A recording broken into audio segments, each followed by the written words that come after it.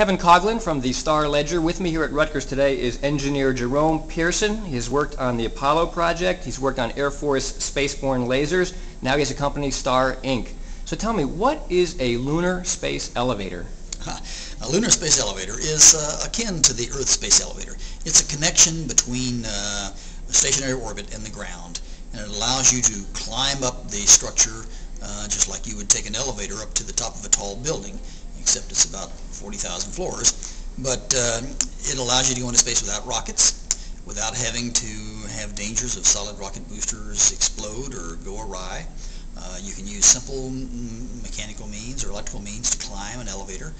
And uh, if there's a problem, you can just stop and wait till you get it fixed and then continue your journey on into space. And it has a tremendous carrying capacity and allows us to carry a lot of material, a lot of mass into orbit. It'd be a very uh, cheap way of, of getting into space. How cheap? Uh, well, uh, right now it costs around uh, $20,000 a pound to get something into low Earth orbit. Uh, we'd like to get down to about 500.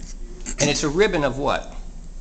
It's a high-strength material. Uh, for the Earth space elevator, it has to be something like carbon nanotubes, which are uh, very high strength, and we don't really have them available right now.